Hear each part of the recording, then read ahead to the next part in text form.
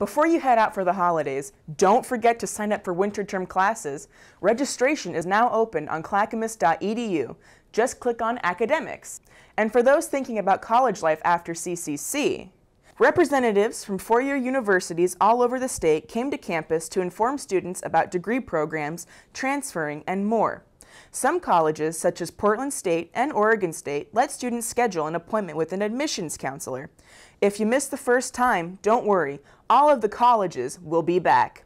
Western Oregon will be on campus on November 27th and Warner Pacific on the 29th.